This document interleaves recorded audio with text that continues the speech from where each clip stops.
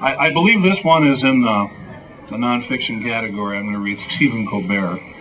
Um, it's probably more about him, and he's a humorist, and he may believe that this isn't uh, fiction or nonfiction, and uh, something a little different from going with uh, talk about computers and, and such.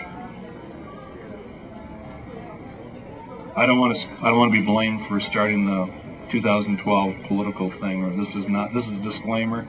I am not uh, saying let's begin because we need a break. Uh, but we'll see what he has to say here. Um, I am America, and so can you, by Stephen Colbert. I am no fan of books. And chances are, if you're reading this, you and I share a healthy skepticism about the printed word.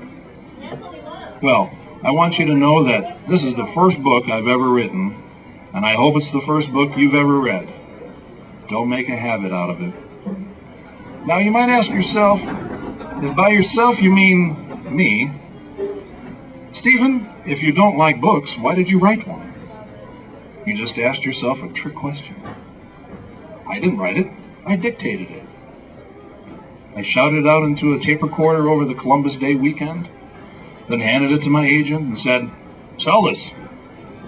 He's the one who turned it into a book. It's his funeral. But I get your drift. Why even dictate?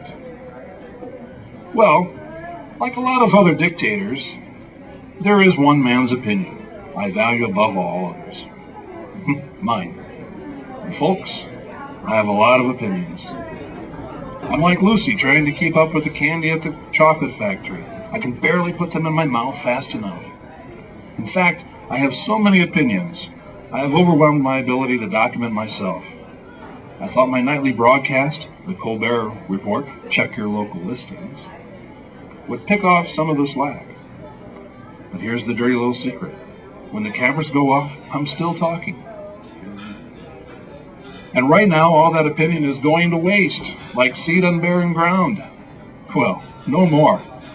It's time to impregnate this country with my mind. See, at one time, America was pure. Men were men, women were women, and gays were confirmed bachelors.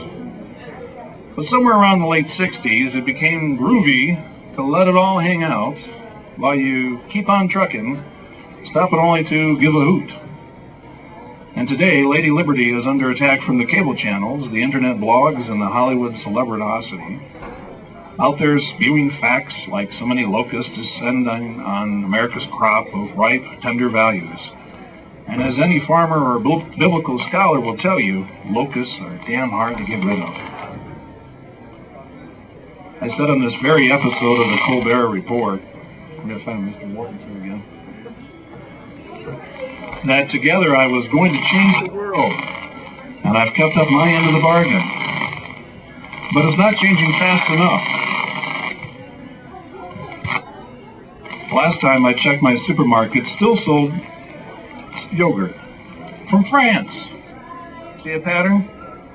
Turns out it, it takes more than 30 minutes a night to fix everything that's destroying America. And that's where this book comes in.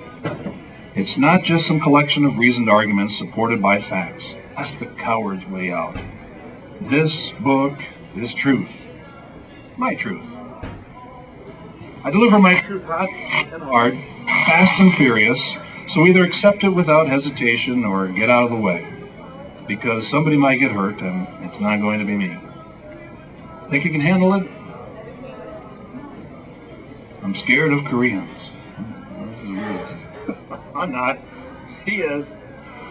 Bam, that's me off the cuff. Wanton in your face. No editing. I think it. I say it. You read it. Sometimes I don't even think it. I just say it. I'm not pulling any punches. I'm telling it like it is. Get used to it or put this book down. Because this book is for America's heroes. And who are the heroes? The people who bought this book. That bears repeating. People who borrow this book are not heroes. They are no better than welfare queens mooching off the system like card carrying library card carriers. For the record, we're not even offering this book to libraries. No free rides. Okay, it's my turn to ask a question. What do I want from you? Good question. Just because I haven't put a lot of thought into this book doesn't mean you shouldn't.